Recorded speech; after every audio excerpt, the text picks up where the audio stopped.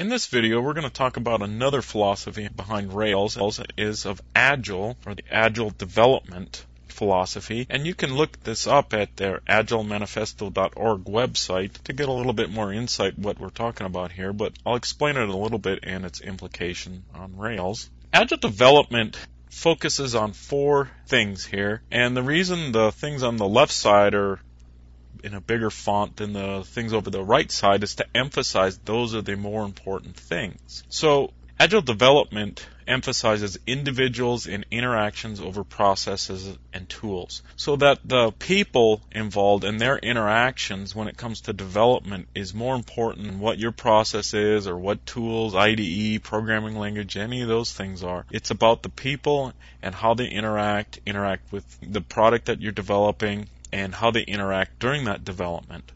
Emphasis on Agile development also emphasizes working software over comprehensive documentation. It's it's much better to have a piece of software that's functioning, doing what you want it to do, than a big 500-page spec document and no software except for a rough, you know, overview of what you're going to be doing.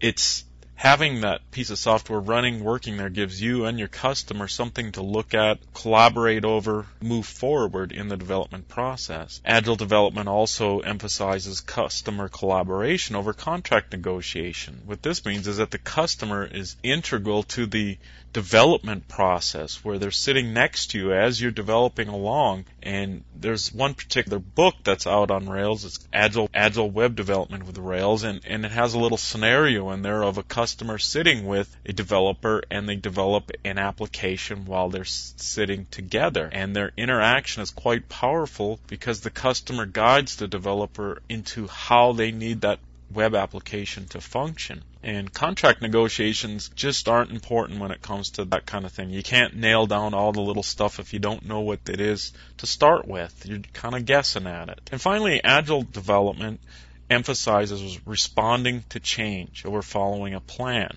And this kind of goes back to the collaboration aspect. If you're sitting with a customer and they say, hey, what about this? Or I needed to do this.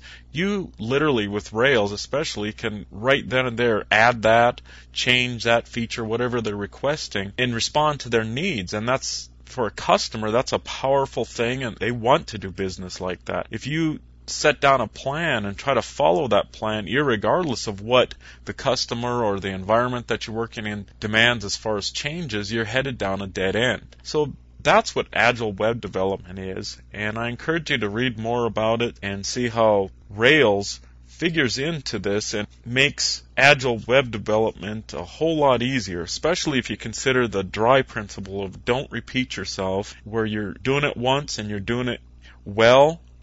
You do a lot of testing and you're program written in Ruby and Rails will be pretty pretty successful and think about how much fun you'll have doing it too. So the next videos we're going to start talking about model view controller and a little bit of Rails code to take a look at what those look like in Ruby on Rails.